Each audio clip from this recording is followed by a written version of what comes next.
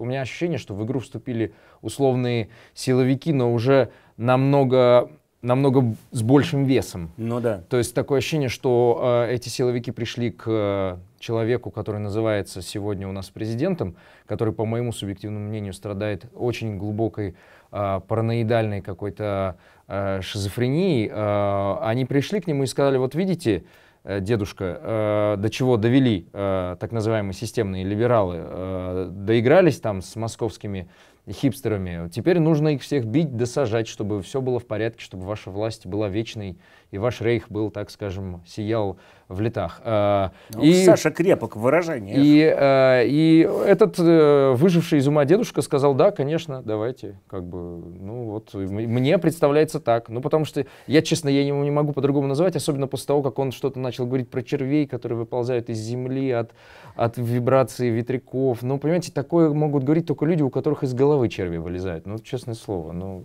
Робеспьер, а?